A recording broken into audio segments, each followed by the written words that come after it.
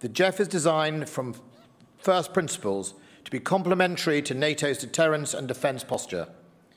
Never has the JEF been more important and relevant than it is today.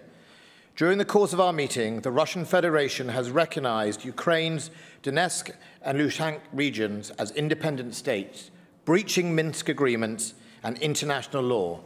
All 10 defense ministers are united in our condemnation of that unjustified act, the build-up of Russian forces on the border of Ukraine, and further incursion in the Donbass region.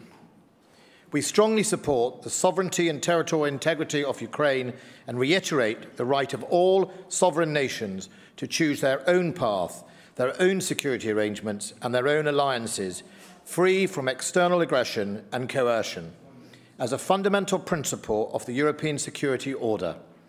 We call on Russia to de-escalate and encourage them to encourage to engage in transparent dialogue, including through OSCE and the NATO-Russia Council in order to reduce tensions.